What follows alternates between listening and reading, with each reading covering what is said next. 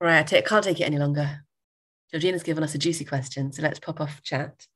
Siri will start the alarm in a few minutes. Um, Georgina, ask us your question.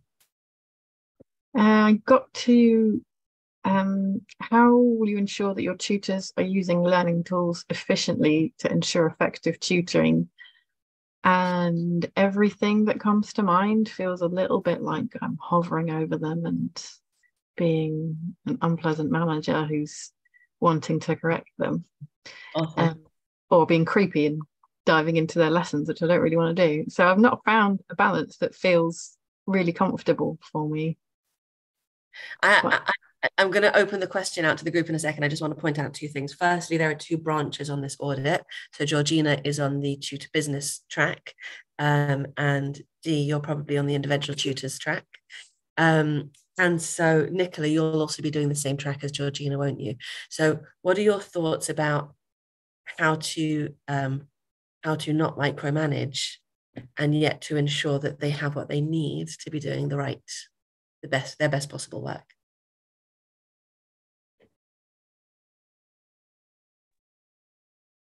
Um, I think using the phrase sharing best practice helps rather than saying, I'm going to come in and check if you're doing X and Y um, and sort of asking the question, what do you feel has been useful or what tools have you used with a particular student and how can that be cross transferred to other tutors who work with students of the same age, maybe doing the same qualification, and how you can put that in a bucket and share it. Hmm.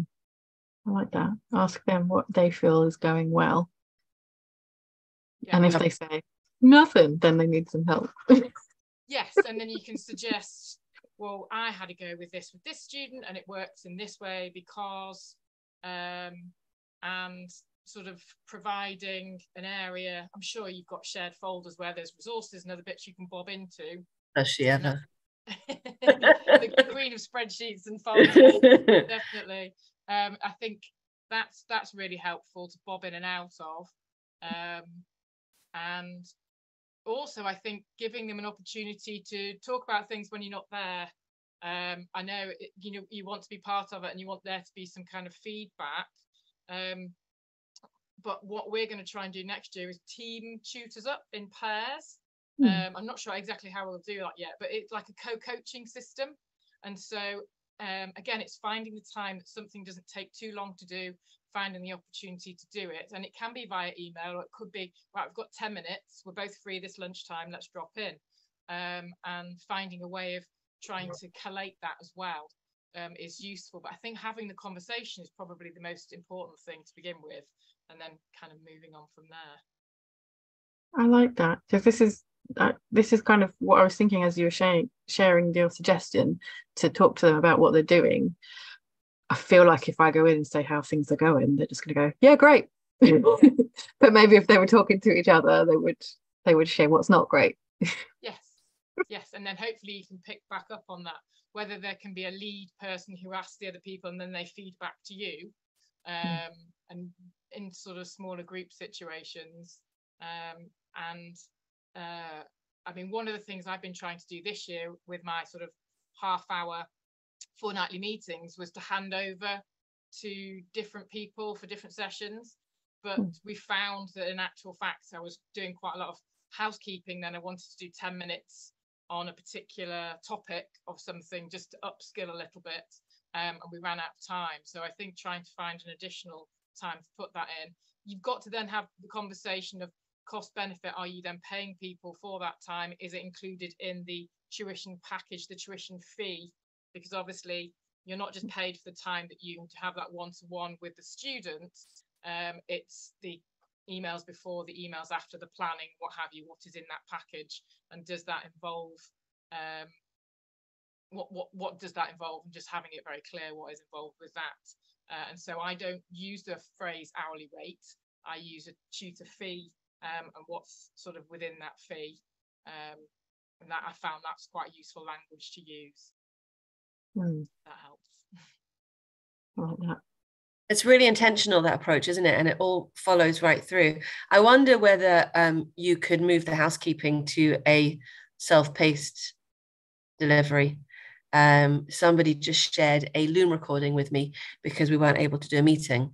Um, and I think that that's a really um, interesting way to be able to share screen, say what you need to, don't have to script it, don't even have to type it, um, but they don't necessarily have to show up. So you're not taking mm. that you, you, they can they can access it in their own time. Is that point, isn't it? Yeah. Um, I I certainly when I in my school um, I inherited a meeting process that was all about the housekeeping, um, and the minute that I gave them that time back and found a different way to get the information to them, they they felt like I'd given them time back, and that's like the best thing you can do for an educator, right? Um, Andrea, are you back with us? I can see you're doing the Zoom dance, but you made a suggestion in the chat that I'd love to hear. Is Andrea back with us, Hannah? I am. I am. Hello, darling. Go ahead. I'm in and out with bad signal. Um, yeah, I think anything dialogic. So looking, I think basically it was it's kind of already been said, but the idea about you know, sort of or having a suggestion of best practice and said, oh, what have you been using perhaps with that? Have you found any of those useful? So it becomes like a bit of a, a dialogue in, in how those are being used, as opposed to just the didactic tools that you should use, because obviously you've got people that are either working for you or you're working yourself and you kind of know what works. So I think sometimes it's either having that conversation with others, if you're in a sort of an organisation or with other independent people as well about what's what's worked for you and discussing different types of um, you know of approaches. So it does become conversational rather than something that's enforced really. There's there's a lot here in terms of leadership skills isn't there? Um, and um, i'm really really curious how much is about the relationship that you have with your tutors and how much of that is defined by which kind of tutors you are taking on. So I know that you're working with science graduates, professional scientists, Georgina, and then Nicola, you're working. Are you working with undergrads? Did you say that before? Yeah, a combination of graduates right. and undergrads. Yeah. Right, and then do we have anybody in the room who's employing um, qualified teachers? Okay, because that's a whole nother um, blend again of relationships, isn't it? Um, and it becomes quite complicated. Um, making balancing, getting getting the hang of that relationship is pretty defining, isn't it? Um, and when it unravels, it's really difficult because we started off this query by Georgina saying, I'm just trying to help them get the right stuff, but I'm worried they'll resent it. Jade, welcome. It's really nice to see you. Hi. Um, so currently we're working on the international tutoring framework and i think next time we pause i'm going to ask one of the independent tutors to jump in um, and tell us how that's working for you guys. Are you okay with going back to it for another five or ten minutes now seeing if you can make some more progress? Of course you can flick all the way through the questions if it helps you to get a shape in your mind of where you're going and then you can come back because the whole document is completely editable. You can move back and forth at your own time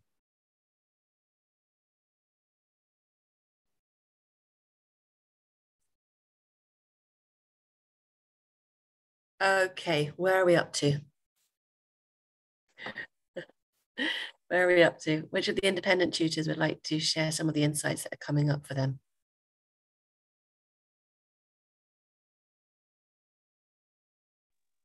I think mine is just, it was nice to see because obviously I did something very similar to this before getting accredited. But even in that short space of time, how much has changed for the better, I should probably say. So there's a lot more, and there's a lot more I've thought about potentially without even realizing till now. So that was positive for me. That's blinding. Can you give us an example, please? Um, yeah, so I think one of the things that was raised to my attention was that I have I've got a business network, but I didn't really have any support within the tutoring space. I wasn't using it to the best of my ability. So I think just showing up a bit more on that front um, probably also working with schools as well. It's something that I've never done before. Um, I've done maybe workshops or whatever, but I've done it through a medium where it's through a club or through something that I've maybe helped out with, but never actually for tutoring, if you like. Mm-hmm. Um, so I've got a new partnership with a local school starting in August. So that's fantastic. So it says things like that that you think, right, well, fast forward three months, a lot can change. So I think it's a good thing to put things into perspective and remind yourself that you are, there's a lot changed. That's beautiful, absolutely beautiful. Um, and also, it makes me think of that measurable progress element that just having this resource, you know, you can use this resource as, as often as is healthy, not too often, um, but you can you can come back to this, you know, quarterly, and give yourself a chance to just see what looks different now. Um, Jeremy, I'm really struck by your statement that you that that working with schools is something you always want to do more of. Um, I wonder whether there's something that you could be doing more or differently that you could pick up from the colleagues here to lean into that? Um, I I talk to schools with letters and phone calls and things like that, but not regularly. Kind of, I think having a link with a school would be just really helpful because the curriculum does change. Not as much as maybe it could, but um, may, maybe as much as people think it changes. I think the basic skills are still there, but I still feel, even though I don't want to be in a school, I really feel it would be valuable to talk to schools. Always have done. So I want a good open relationship with them. So so there's two elements there. There's the there's the knowledge base and yeah. there's the relationship for getting work. Mostly, those, the knowledge, mostly the knowledge base. Mostly the knowledge base. I, I've I've got plenty of work. It's yeah, it's more the knowledge. Okay. Um, and are there schools? Are there so? Are you suggesting that you'd like to join INSETs in schools? Um, possibly, but just have a link that I could ask questions. Is when something comes up and the child says, "I don't do it that way at school," then I like ah. to know what that way is and if it's changed. And usually it hasn't. It's just that the teachers found a shortcut, but it, it's just good to discuss it with a professional. Because I, I, have you, yeah, I have done that. So yeah. So we're talking about a curriculum lead. We're talking about a subject lead, maybe. Yeah, possibly. Yeah. That's really interesting. That's a new idea. I've not. Could be a rebellious teacher, though. could be a rebellious teacher who's, who's sneaking you the inside track. the other thing it could be is one of us here who's you know either also still working in school or pretty confident in that specific yeah. area um, yeah. so maybe that maybe you, initially I thought that what you'd said in the chat was that you like more work in schools. No, I've done that. Yeah, right. Yeah. I'm glad to be out of that. Uh huh. Oh, that's but interesting. That, that doesn't mean I wouldn't want to do group work as a tutor. So, yeah. Anybody started with group work recently? We had a conversation about that just before, didn't we? Um, that's so, what yeah. part of that's what part of my link with the school will be. So it will be small sort of eight to 10 pupil workshops and things like that. So for me, that'll be new, but I'm mm-hmm. more than happy to sort of share, you know, within the community what comes out of that. Because my idea was to kind of document it for myself. So if people want to know, then you can know. Um, it might be useful for some. That's gorgeously generous. Thank you so, so much. Um, I'm also struck because Georgina said earlier, what did you say about um, about group work? It's like a dark art. I really don't understand how it works. it's a dark art. And I said to you, it's like cooking a roast. you just have to not burn the potatoes whilst the beans just need a little bit of time and you just have to keep all the plates spinning at the same time to mix the metaphors so that yeah that's exactly right lots of us on here teach groups and charlotte's certainly the queen of that um, i've been thinking as we've been um, having our quiet time about those me shape holes that we create and how Charlotte's background was very much on the drama side. And so running those big groups suited her. And Georgina, you're much more of the one to one and the caring. So that it's really, really interesting how we're sort of leaning into our niches. Eleanor, what's showing up for you? Hi. Hi. Um, I'm quite new to all of this. So I only started, I quit teaching in December was thinking about going in a totally different direction. And then two months in, I just thought, I'll just do a bit of tutoring just to make some money. And then um, and then really enjoyed it. So I've just got really into it. Um, but because I'm quite new, I've done lots of asking lots of questions on Facebook and stuff like that. But yeah, I um I'm just kind of get like working out what I'm doing really. so it's a bit but, yeah. That's pretty immense. Yeah. So yeah, no, it's really it's been really good. But um so yeah, I thought I'd just join in and just have Fantastic. Sorry. you know. So yeah, I think for me, like I said on the memo message, it was the whole I mean, obviously I think about safeguarding, like like something came up this week actually. Um one of my friends has got a, a her kid is in year 10 and and he was she was talking about getting one-to-one tutoring and then i ultimately said oh yeah no, you know you can come over to mine or whatever and then i thought about it and I thought, actually really have a 10 year old boy in my house when no one else is there um, and because i've only tutored one-to-one year 13 students who are 18 like until this point and i was like and all my other ones are online and so they you know they're all at home with family there doors open all that kind of stuff so i've thought of that, that kind of thing but I just suddenly dawned on me that ah, I really need to think about that. So, mm-hmm. and like I've got lots of plans and what to do to make sure that I'm not alone with this child. Yeah. But but yeah, so I haven't really, and obviously I've done safeguarding as a teacher, loads of it, and and some of it very recently, only like just before I left. But I hadn't really thought about the whole doing a proper safeguarding course for tutors. So safeguarding for tutors is where all this started um, mm-hmm. because because knowing what safe looks like with tutoring and building out your own code of conduct, whatever that is for you and suits you, is you have to be really, really intentional because nobody's going to spoon feed it to you. Mm. So, um, so I think you asked whether or not you can access safeguarding with us, and you absolutely can. Um, yeah, I sent an email already. took you so long, um, but I think I think what's really, really lovely is this like this mindset of oh i don't have an answer for that yeah and just leaning into that instead of getting panicky and closing that door because um, i know exactly what things are stressing me out right now that i haven't asked clearly in my own mind you know what i mean things that i haven't dealt with we've all got those those um, icky bits that we don't want to to address and i think having safe spaces to to go through those is exactly the magic could you, um, Eleanor, what's your subject? Chemistry. Oh, okay, fantastic. Um, you are in good company here. There's lots of scientists here. Um, so, are you? Where are you guys up to in the audit? I would love some feedback on it when you're getting towards the end. Oh, I, yeah, I finished before, so. Fantastic. Is anybody else who's still doing it and wants a little bit more time, or should I leave you to do that in your own time? And actually, just I would love to gather some feedback before we wrap up. Would that be all right with you? Okay, so um, so let's do that. If you are um, with us but with screens off, I would love to have the screens on now because um, it's thank you, Yvonne, because it's much easier to get um, reflections and feedback from people when you can see them. Um, did you find that process helpful?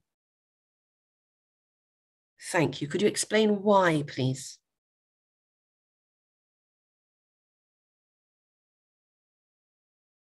I think I've said this to you before, but uh, there's so many things that I just do, and until I think about why I do them or why I do them a particular way, um, I don't really necessarily improve on them, if that makes sense. So if I just kind of deal with something as it comes up, and I never really think about what I'm doing, why, I'm probably making myself more work and also could probably improve it. Actually, having to answer the question and document and answer really makes me think about what I'm doing. Um, and I've actually done this before, and having done it, there were loads of things that I thought, oh, yeah, how do I do it? And I've actually documented, made it into a process since. So answering it this time was brilliant. oh, so you measured your own progress and gave yourself a pat on the back? Yes. Awesome. Iced coffee. um, I, I, I really um, I don't, I don't know what would have happened if I hadn't gone to that event last night. I would have had nothing to talk about with you guys today.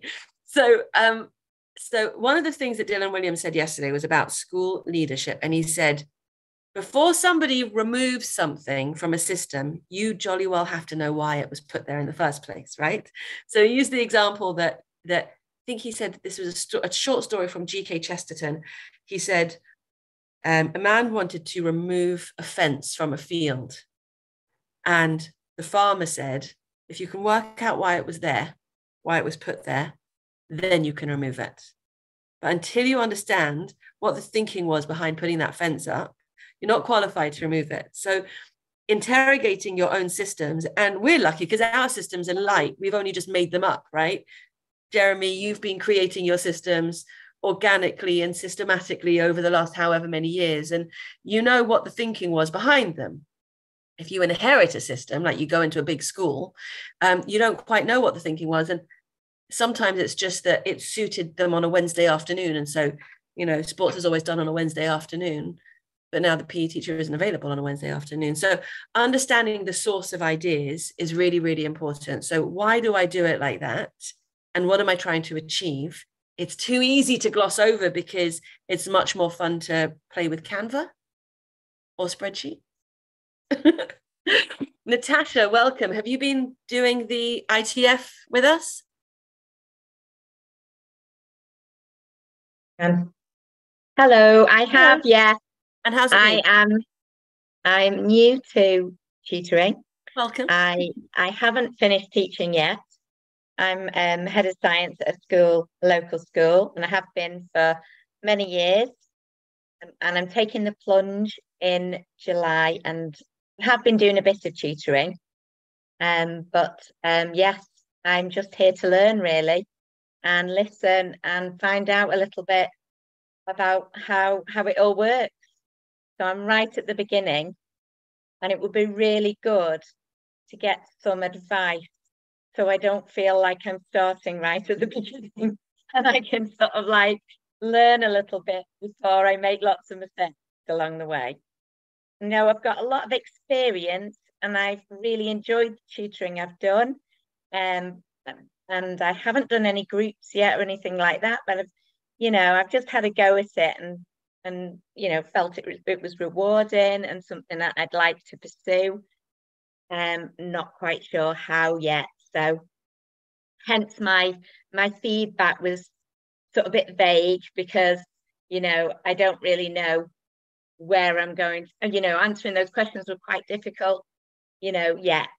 But you know, I'd like to be part of a wider community so I can learn a bit more um, I couldn't I couldn't start earlier because I was teaching, but you know I've joined a little bit later and awesome. Feel like I've missed missed quite a bit. Oh no! Like you come in halfway through the movie. yeah. Yeah. okay. If you if you go back to the beginning of this day, you'll know everything because we've really been telling stories today. Um, so welcome. In my mind, what you've just described is putting the cutlery holder in the drawer before you put the cutlery in. So for you the framework will be knowing that these you know you need you need spoons because you've got a spoon space now. Yeah? So you need community you need safe you know safer recruitment practices because you've because you've got this framework now that's empty that you can now start populating which is a really interesting place to be.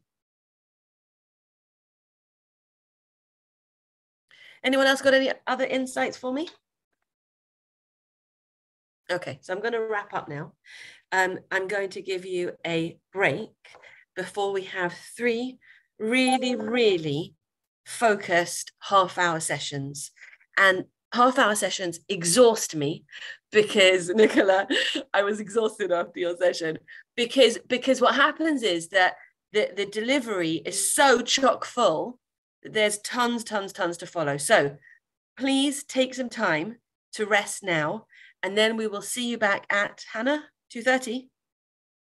Yeah, 2:30. You've got dyscalculia with an awesome um his name's escaped me and I don't have it written in front of me. Robert Jennings. So Robert Jennings and his colleague Kat created um, a dyscalculia organization and they're so committed. I'm really, really impressed with them. So that's going to be really interesting to learn about how to support students with maths anxiety. Hands up if you are not a maths teacher. I'm not going to put you on the spot. I'm just going to remind you that you still need to know how to support your learners with maths anxiety because it affects everything. Um, the next presentation is going to be Michael Gibbon. He's going to be talking about scaling. And the third one is going to be with Joanne Kaminsky, who's going to be talking about getting students from across the world, which is jolly well useful so that you're not waiting until the kids come home from school so you can tutor. Yeah, I'm looking forward to it. Awesome. You haven't seen your face for an hour or so. Yes. I've been listening quietly in the background. Quietly. Well, quietly for me in the Oh. background. I've typed some stuff. I'm just, it's one of Wow. those days. I Wow, got wow, a wow. suitcase. Cheryl, I haven't seen you for a long time, have I? What a treat to see you back here. Everything okay? Yes. Excuse me. Good morning. Good morning. Good joining, morning. joining from the United States. Yes. the United States has woken. We've got, we've got Michael and Joanne after this for example. I know. I have I have a meeting that I have to go to a local uh, event, and I just messaged Michael to tell him I was going to be in there, but I cannot join Joanne today. But thanks for the invitation. I'm so glad I got to see this. You are always welcome here. Um, Cheryl, everything will be available to you um, this evening, well, your midday, on the uh, on the Interactive Festival Guide because Hannah's cracked YouTube now. So okay. sharing, we're great. sharing. She's, yeah, it's all we've we, we've got it all going on here. So, Awesome. um, Rob, you have Cheryl in the States, you have Nicole in Australia. Blimey, Nicole, what time is it there? She's got her hoodie on. 11.30 11 and it's freezing. and it's freezing. It's still cold. It's still winter in Australia. Um, so we're going to launch straight in because I've just taken two minutes of Rob's session, which was naughty. Welcome, Rob. Um, are you going to introduce yourself and explain your background? Yeah, I, And I'm going to zip it. Yeah. Okay, shall I start? Okay, uh, first of all, I'd like to start by saying thank you to Julia and the whole team I Love Tutoring for the opportunity to talk about maths anxiety and maths difficulties because it's really underrepresented in, in the whole sort of field of education. And at the Dyscalculia Network, we're looking to change that. So I'm going to change, I'm going to share my screen now. Hopefully that'll work. Okay, is that all looking good? Okay, fantastic. So talk today is uh, supporting students with dyscalculia and maths anxiety. Um, it's uh, probably not enough time today, so if you want any more information after I finish talking, please get in touch with Julia's team and uh, she'll provide, send them send them note on and we'll do what we can to help. Okay. So the Dyscalculia Network was born about 2019. Uh, Kat Edel and I set it up a, uh, because we both, being math specialists, realized that there's just no representation for this special needs. And our aims are to raise awareness of dyscalculia and maths difficulties. Um, I had problems when I first started working with dyscalculia saying the word. So I have a little trick that rhymes with Julia, dyscalculia. So that's a, just a little good visual hook for that. Uh, we also, via the website, provide the UK's only dyscalculia teaching and specialist assessing directory. You can put in your postcode and hopefully you'll find someone in your area to help you. The only trouble being, because it's it's poorly represented, then there's uh, not enough assessors and not enough specialist teachers. So there may be black spots in the country, but get in touch if you need help and we'll see what we can do to help. We also provide information for parents, uh, all sorts of educational professionals and anybody interested, especially adults, because uh, raising awareness means that people who have had dyscalculia for a long time in their lives and suffered, it means that they're uh, coming out of the uh, uh, and getting in touch with saying all of those conditions you talk about, that's me. Uh, we also are now regularly providing dyscalculia and, and maths difficulties training. So look on the website for any information on that. If you're a teacher, from we're doing online courses. So Australia, USA, you're more than welcome. Okay, so a bit of context. Dyscalculia and maths difficulties affects about 6% of the population. Uh, that's probably about 5 million people, uh, 4 million adults and 1 million pupils. So uh, recent studies have shown that it's so poorly represented. This is the study uh, from 2021, uh, where they looked at just over 2,500 people. Uh, 20, roughly a quarter required some sort of SEND support. and 5% of that were diagnosed with dyslexia, but 0.04% was diagnosed with dyscalculia. And roughly the same numbers affect both conditions. It's really badly represented on here. So you're 100 times doing the maths, you're 100 times more likely to get diagnosed with dyslexia than you are with dyscalculia. That's, that's shocking. What is dyscalculia?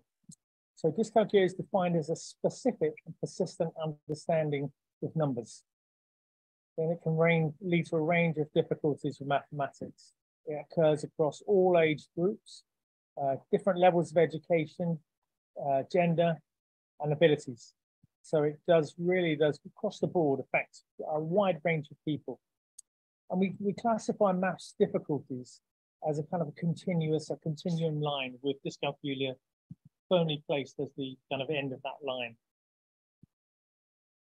I love this kind of definition. You can download this definition of uh, dyscalculia from the Scottish Education website, it's free.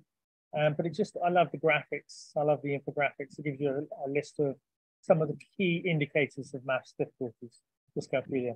Problems estimating, subitizing. Subitizing is the ability to count a small number of objects without, sorry, uh, to identify a small number of objects without actually counting them. You know, like Mother Duck will look around and see her three uh, ducklings behind her, but she wouldn't count them, but she'll know innately that that's that's okay. People with dyscalculia have trouble with subitizing, so it's one of the indicators here. There's also ordering and sequencing directionality. A lot of dyscalculic pupils will flip the digits. So the number two will end up looking like a number five and vice versa. Uh, everyday tasks involving money and time is a real problem for these students. But I think the most important part of this slide, if you like, is the impact of how it affects us as a barrier uh, varies in degree to the quality of learning and the teaching environment that we provide for them. So early intervention is always better and it helps us to sort of put in place the proper intervention. Just a couple of general factors which make maths hard to learn. Uh, it's quite an abstract topic. You know, what does area mean? What's the difference between area and volume? Unless we have something concrete that we can look at to see the difference between like a 2D shape and a 3D shape. It's quite, quite abstract. It's also complex, involving lots of different language. Uh, I don't know, understand why there's seven different words to mean add, add more than the total of, the sum of, you know, it just makes it more and more confusing. And there's an element of space in it as well. But I think the thing that really uh, affects how is the way that maths is taught in some schools very quickly. And there's a real emphasis, which I really dislike, is the emphasis on rote learning. You know, the Friday afternoon times table test, how quickly you can answer 10 questions. You know, that's not a learning of, it's not an understanding of your ability in maths. That's just a, a rote learning exercise. It's equivalent to say, learning the capital cities of Europe, you know, and asking what's the capital of France, you know, has no relevance to your understanding of geography per se. So we really are against uh, overloading people's working memory uh, and memory for when learning maths. Maths is a very building block subject, so it relies heavily on the foundations of maths, the key foundations like um, all the calculation skills, understanding of place value, understanding what the basic fractions uh, and decimals represent. So at the uh, Dyscalculia Network, we've come up with this concept called the Jenga effect. I'm sure everyone's played this fantastic game, and I'm promoting uh, the game now. But um, we see maths as a really modular topic. And the kids and the adults that struggle maths have had some of the foundation bricks taken away and placed on top. A lot of the intervention in schools is at the wrong level. If, for example, they might be struggling with fractions, then they're sent out and do to do more fractions. Whereas there might be a, a more fundamental thing that's not working in, say, for example, division skills. so they're not able to do uh, simplifying of, of basic numbers. So this Jenga tower with bits missing is what we classify as someone as a classic dyscalculic student. And what we try to do is to create a more structured and complete Jenga tower on the right hand side. So how can we provide this firm foundation to help with maths difficulties? So first of all, we have to look out for these, and that's the things we talked about with the Scottish definition. Look out for the indicators, subitizing, the inability to remember uh, calculation techniques, the reliance, over-reliance using of fingers, counting up and back in ones. Um, all of these things are indicators that we need to investigate further. The further investigation is an assessment to sort of find out the strengths and weaknesses of that individual, which we base our teaching intervention plan on. When, when we do the intervention with that individual, it's really important to sort of to put it at the correct level. Don't just uh, you know go back to what they're sort of struggling with in the class. We need to go right back to the foundation areas because if they're not secure, they're going to have knock-on effects throughout their whole maths education. But what I would recommend is maybe even go back beyond that. So you start the lesson with something they can do. You, you'll be amazed at the effects of saying, wow, my first lesson with you, and I've, I've been getting right answers and I can do this stuff. It's a huge confidence boost for the individual that's been struggling and can't do stuff in class. So start with something that you're going to build on, build on success. Scaffolding learning is really important as well.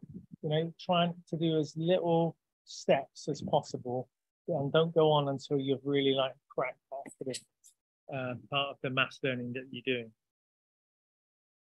So then just to summarize quickly here, is that it needs to be understanding based, not rote learning. Use lots of concrete models because maths being really abstract, you have to use these models to prove what what these are, what they work at.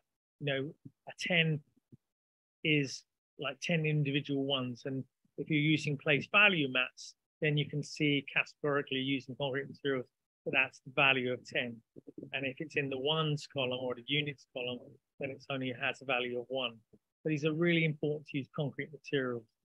You need to be very carefully structured. So there's, uh, for, there's lots of pre-skills you need to do to successfully, say, for example, teach times tables.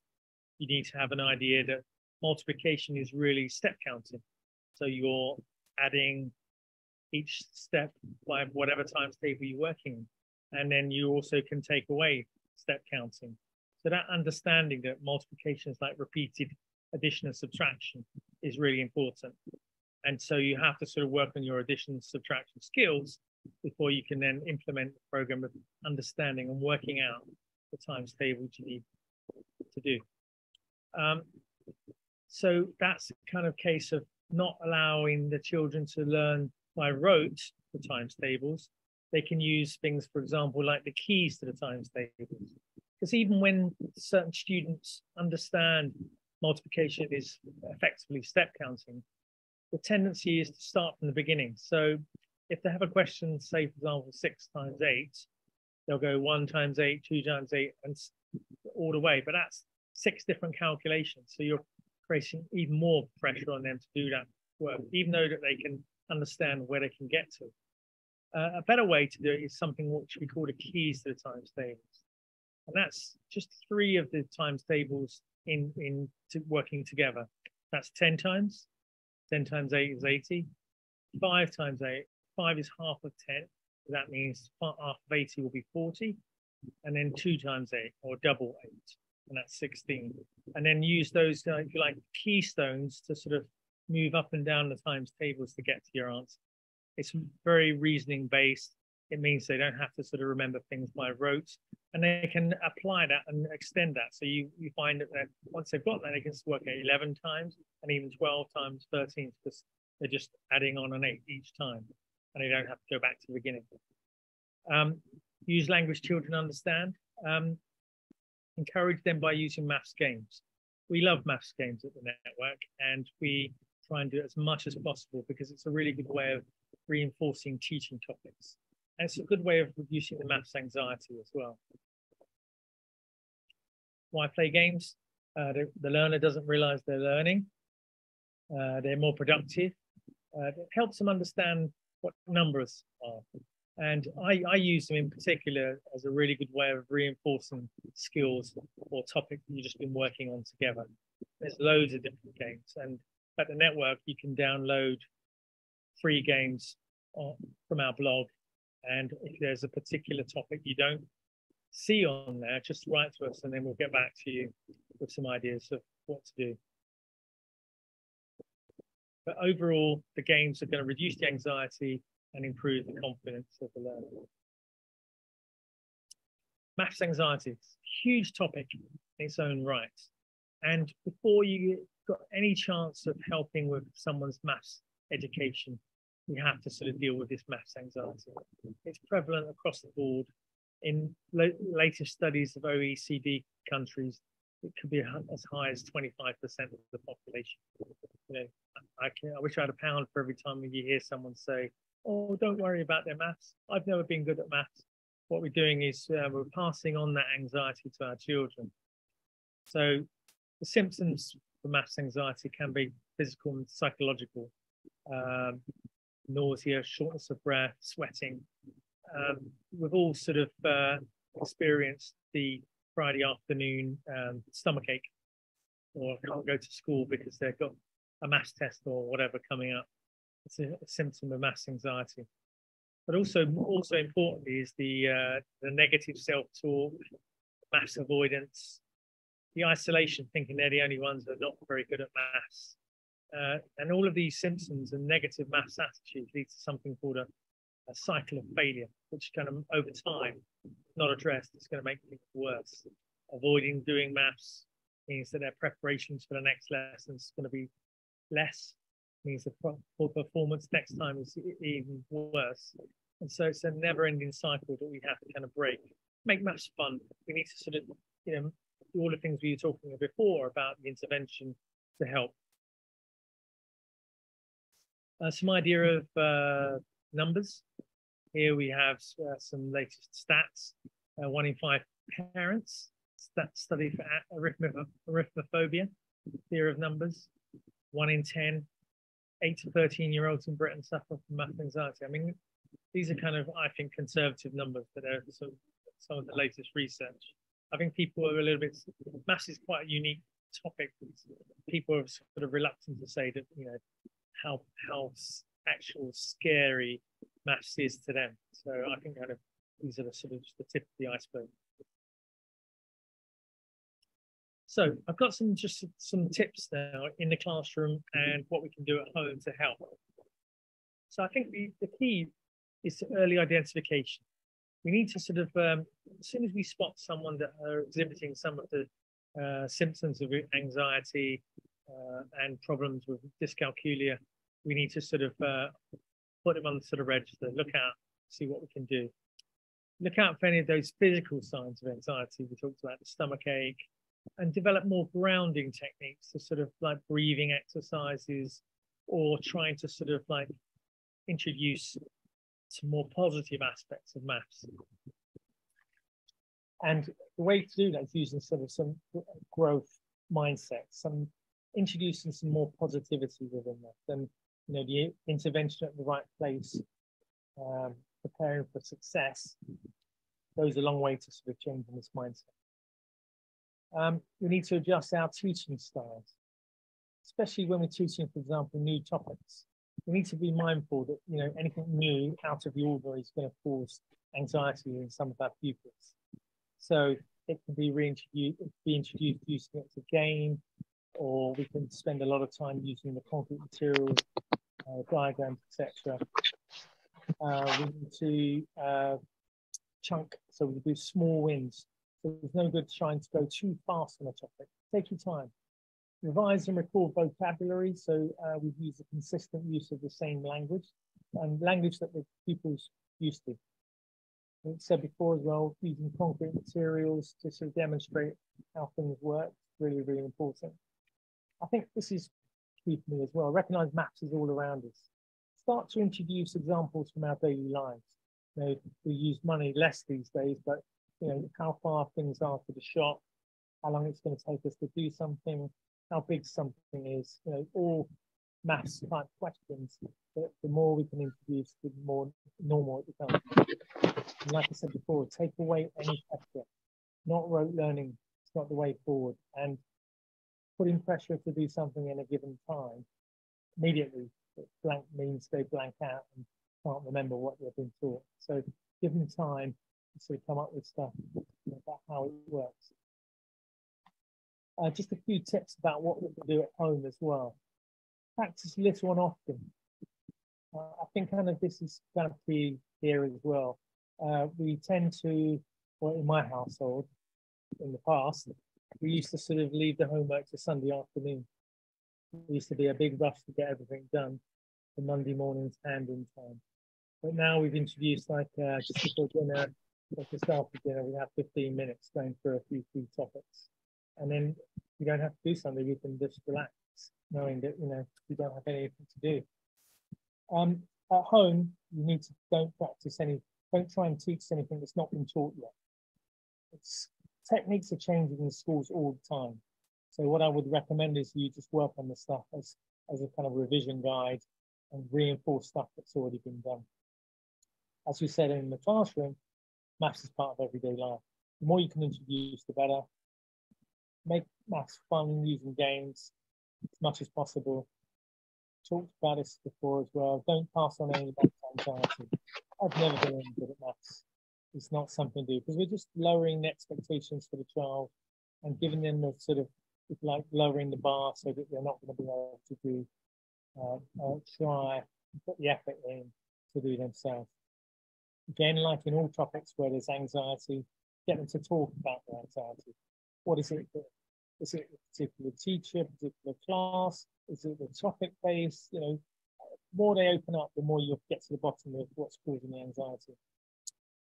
Um, I think teaching children to ask questions when they don't understand it. This applies to all topics, but it's really important because if you're struggling with a topic, especially maths, you're really going to be reluctant to ask questions.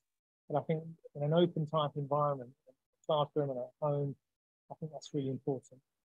And as parents, communicate with your class teacher and so that we can all be singing from the same like hymn sheet and communicating doing things together in the same way, rather than clashing and doing a different technique or something like that. And remain calm. Uh, I've left, as part of the slides, there's uh, three links here. There's the Maths Anxiety Trust, which is a fantastic organization set up to address issues with maths anxiety. And they've got lots of useful guides on the site. There's also, uh, in Derby University, there's a maths anxiety research group with MUG, and they have really useful things there, uh, like sheets that can indicate how anxious you are maths, so this actually scales. And there's also tips on the site as well to deal with it in the classroom and at home. And obviously through the Dyscalculia network, here's our website and you know, we've got lots of useful guides on here. And if you write to us, we'll definitely get back to you with some recommendations. Okay. And it's just, a, again, a huge thank you for, for being involved. This is really Padre, en el nombre del Señor Jesucristo, Padre Celestial, Espíritu Santo, Señor nuestro. Oh, I quite wanted to have a Spanish lesson then as well. Yeah. If there's any questions or anything. Come on, you guys, you got four minutes with Rob. And he's not tired at all. He's just taught an entire academy today. Oh, hi. Um, I'll, I'll start off. How do you help in terms of stopping that reaction when you say, I'm not good at maths for a student and for maybe a parent? Well, when we talked about intervention, I think the key is to sort of uh, plan for success. So you need to sort of start some revision lessons on stuff they can do. And what you'll find is that it's so after being successful and getting stuff done, uh, I also think less is more as well you know, often children will go home and they'll have a sheet full of 50 questions. Whereas you don't need to do that many. Maybe 10 questions enough on a topic would be enough. It would enable them to complete the sheet. So a lot of the time they're not able to do all 50 questions. You know, they're trying so hard to get some of them done. So if you're able to sort of set them less, cover the whole kind of topic, and they achieve that, then again, that's a success that will help them move on. Thank Super. You. I've got one as well. So my 15 year old um, has noticed that he doesn't mind maths. He just doesn't like the way that maths is taught in school. And um, he he really struggles with anxiety himself in general. And I think that there's something about the teaching of maths that is heavy, um, but also that is really um, details oriented in a way that doesn't suit him. Yeah. That sound right to you? Yeah, absolutely. And the, the problem with maths teaching is teachers that go into teaching maths are passionate about maths and they are good teachers, people that get it. They, they, they don't really get, and it's a big generalization, and I don't want to do anyone a disservice, but people that don't get it, they're less connected with that sort of outcome. They're less able to be able to teach that sort of level in general. Um, and I think kind of uh, the, the, focus of teaching from the board uh, in a rigorous type way is uh, not good for the people who struggle. They need to be able to sort of be involved, find some relevance about how it's affecting their life to make a difference. Yeah, absolutely right.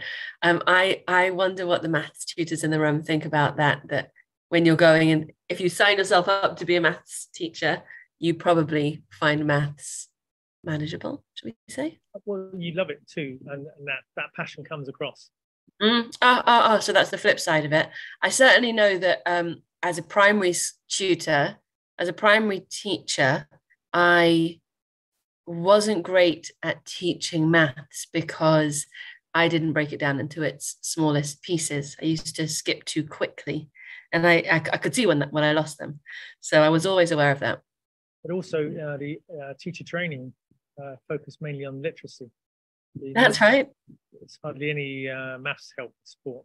And I wonder whether that's also to do with um, relying on the sequencing in the textbooks um, more in maths. Elaine and Cheryl, I want to hear your questions, but I'm not sure we're going to have time to answer them because Michael's just arrived. So, can we hear the questions so that we can process them and mull on them? Would that be all right with you, Rob? Yeah, yeah. Awesome. Cheryl, go ahead. You know, um, I was also thinking the same thing about literacy, and I didn't know if anybody had a link or some sort of a, a, curriculum. I had to walk out of the room for a minute. You might have missed it. I might have missed it. But is there a curriculum that um, is based specifically for dyscalculia students at the lower grades? I know you. I saw your tools. I was listening from the other room. Uh, but is there a specific curriculum that anybody has one, uh, found? But if you look at Jane Emerson and Patricia Babtie's book, The Dyscalculia Solution, that tells you how to uh, teach children that struggle at the bottom end. I appreciate you repeating that. Thank you so much. It's called, it's called uh, The Dyscalculia Solution by okay. Jane Emerson and Patricia Babtie. It's like awesome. the, the Bible for teaching children that struggle. Oh, look at that, Helen. Thank you so much. And I used to use Ronit Bird's book as well, which is good. Oh, that's brilliant. And there's, she does some fantastic games. Yes. Uh, resources. That's right. Uh, that's right. The, the, basic fundamentals about helping with number sense and stuff. It's a good starting point. Awesome. Thank you. Is that all right, Cheryl? Great. Elaine, you put your hand down. Come on, bring it. Yeah, I was just going to ask really quickly if you had any tips. I've got a year, a girl in year ten, and she has possibly the worst maths anxiety I have ever seen, and she's already stressing about her maths GCSE in a year's time. And I want to, you know, help with her stress, but also, you know, how on earth am I going to get through this exam? I think kind of uh, the anxiety is affecting her maths performance possibly, mm. um, and maybe some maths games aimed at that GCSE level would be really important. I think also um, it's what, what, we're working with some pupils is their um, how they revise because uh, sometimes the textbooks within the maths curriculum at GCSE level are so thick and, and inaccessible. We need to do something about that. So we, we're doing some work on helping children that are at that struggling side to revise. There's lots of you can go to the shops and buy like these great revision guides, but they're chunk, they fit so much onto individual pages. It doesn't really help someone that doesn't like clutter. I wonder whether um, some of the AI driven curriculum resources might be useful in that context because then you can't see all the chapters ahead of you. Okay, Rob, thank you so, so much for your contribution here. Thank you. You're welcome. Thank okay. you. Um, stick around. We would love to hear more from you and we would love for you to be part of our